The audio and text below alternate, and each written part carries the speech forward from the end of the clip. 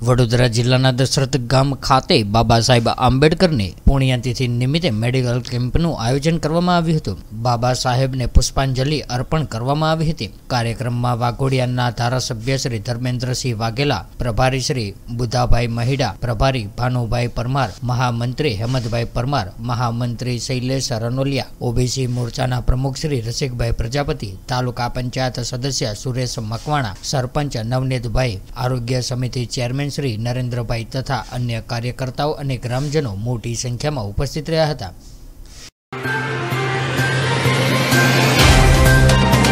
तो WhatsApp Twitter Facebook Insta जहाँ भी आपका अकाउंट है इसे शेयर बटन के द्वारा वहाँ पर शेयर करें